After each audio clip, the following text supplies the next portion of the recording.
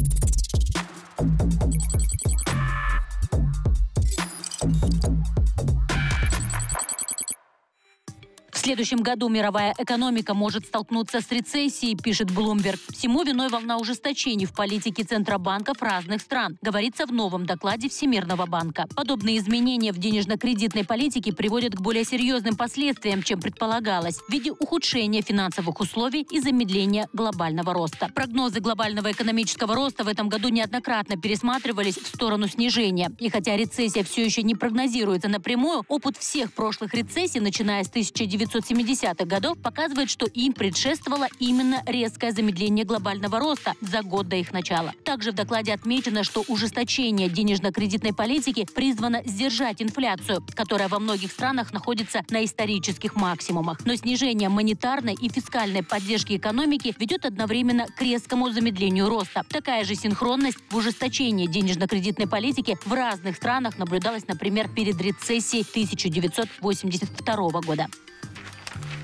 В Германии планируют ввести карту возможностей. Она поможет восполнить острую нехватку рабочей силы, пишет Deutsche Welle. Зеленая карта, представленная министром труда Хубертусом Хайлем, предоставит иностранным гражданам возможность приехать в Германию в поисках работы даже без предложения, если они будут соответствовать как минимум трем из этих четырех критериев. Это наличие высшего образования или профессиональная квалификация, опыт работы не менее трех лет, знание языка или предыдущее проживание в Германии и возраст до 35 лет. Каждый год год в зависимости от наших потребностей мы устанавливаем квоту на то, сколько иностранных специалистов могут переехать в Германию на ПМЖ с картой возможностей, чтобы искать тут работу или обучение на какой-либо срок. В течение этого времени они должны обеспечивать себя самостоятельно, пояснил Хайль. Число квалифицированных специалистов, эмигрирующих в Германию из стран, не входящих в ЕС, за последние несколько лет выросло, но все еще относительно невелико. Количество квалифицированных рабочих, въехавших в Германию в 2019 году составило составила чуть больше 60 тысяч человек, что составляет всего 12% всей миграции из стран, не входящих в ЕС.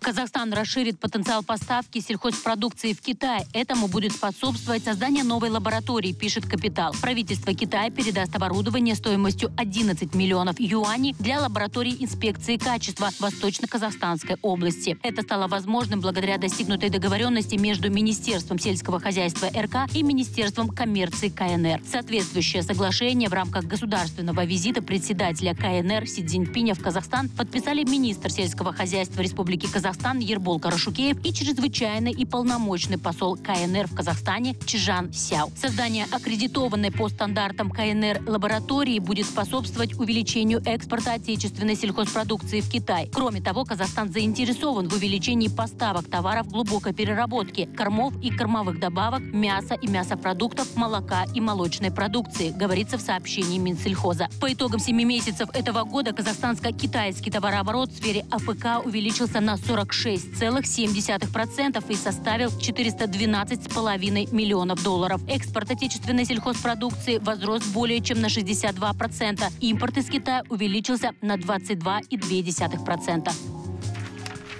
Кольца Сатурна, возможно, представляют собой остатки исчезнувшего спутника. Планетологи выдвинули новую теорию об их происхождении, пишет Science. Около 160 миллионов лет назад, говорят они, ледяной спутник приблизился слишком близко к планете и разлетелся на куски. Других исследователей эта версия заинтриговала, хотя сомнения и остались. Эта версия словно открывает новое окно в отношении происхождения колец Сатурна. Я лично считаю, что объяснение неплохое, хотя сама по этому вопросу останусь в лагере агностиков говорит Мариам Эль-Мутамид, специалист по планетарной динамике из Корнельского университета. Ученые давно спорят о том, сколько существуют кольца Сатурна, миллиарды лет, как сама Солнечная система, или всего 100 миллионов, или даже меньше. Данные из космического корабля НАСА Кассини, который закончил работу в 2017 году, после того, как проник между кольцами и верхними слоями облаков Сатурна, убедительно подтвердил так называемую молодую гипотезу. Космический корабль выяснил, что кольца, во-первых, не столь массивны, как считалось ожидалось ранее, а во-вторых, подверглись воздействию более мощного, чем ожидалось, потока сажистой пыли из Солнечной системы, которая со временем потемнеет. В совокупности эти данные говорят о том, что относительно нетронутые ледяные кольца относятся к молодым, говорят специалисты по планетарной динамике. Но вопрос, откуда они вообще появились, остается настоящей головоломкой, пишет Science.